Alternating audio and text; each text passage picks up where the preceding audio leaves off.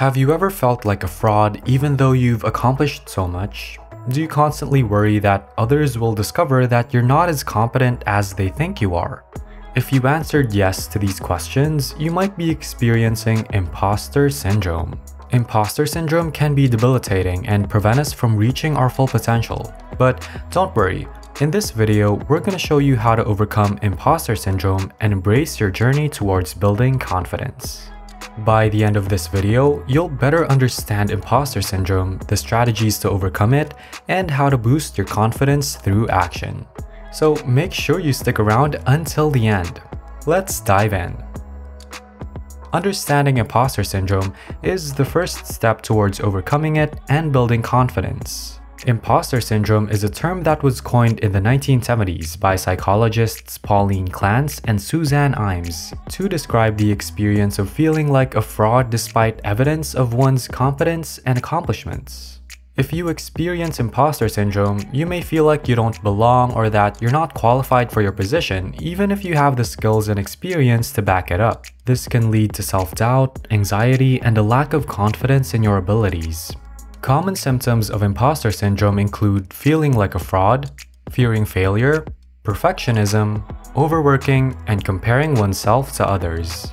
These symptoms can lead to negative self-talk, which further reinforces feelings of inadequacy and can make it difficult to break the cycle of imposter syndrome.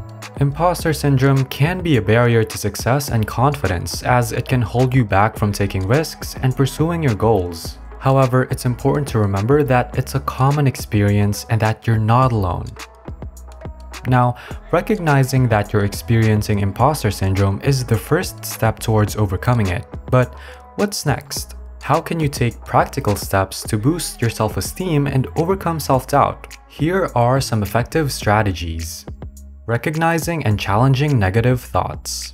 When you feel like a fraud, it's easy to spiral into negative thinking, believing that you don't deserve your achievements or that you're not good enough. But the truth is, these thoughts are often unfounded and not based on reality. So start by challenging these negative thoughts with positive affirmations and reminders of your accomplishments.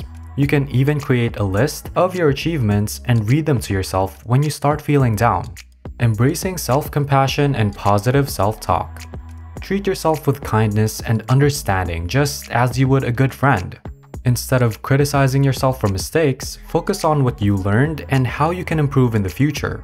Speak to yourself in a gentle and encouraging tone and be mindful of the language you use when talking about yourself.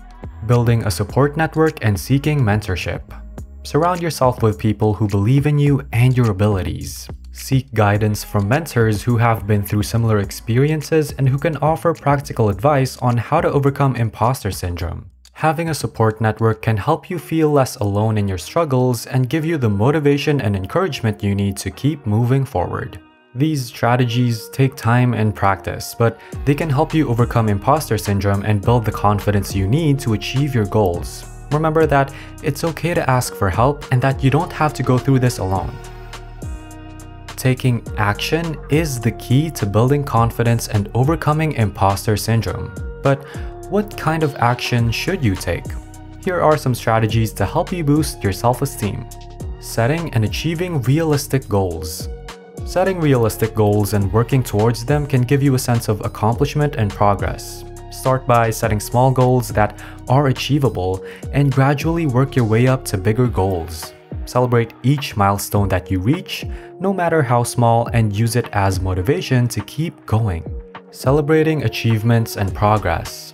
Don't forget to take the time to celebrate your achievements and progress, whether it's getting a good grade on a test, completing a project at work, or reaching a personal milestone, take a moment to acknowledge and celebrate your success. This can help you build self-confidence and give you the motivation to keep pushing forward.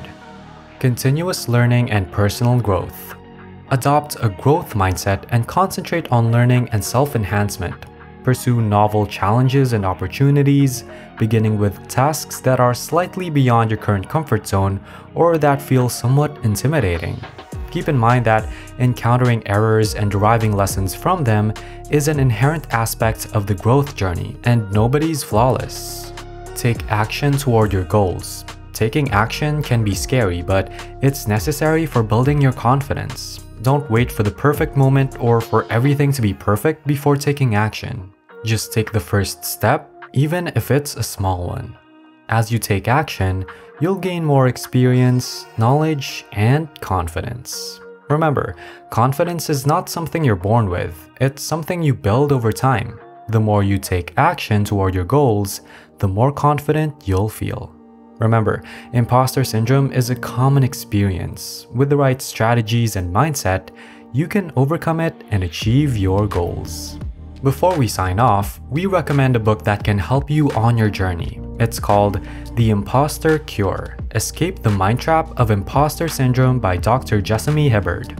It's a great resource for anyone looking to overcome imposter syndrome and build self confidence. We also recommend our video How to Get Out of Your Comfort Zone and Embrace Doing Hard Things. We'll leave a link to both the book and the video in the description below. Thanks for watching and we'll see you on our next video here on the Tree of Life channel.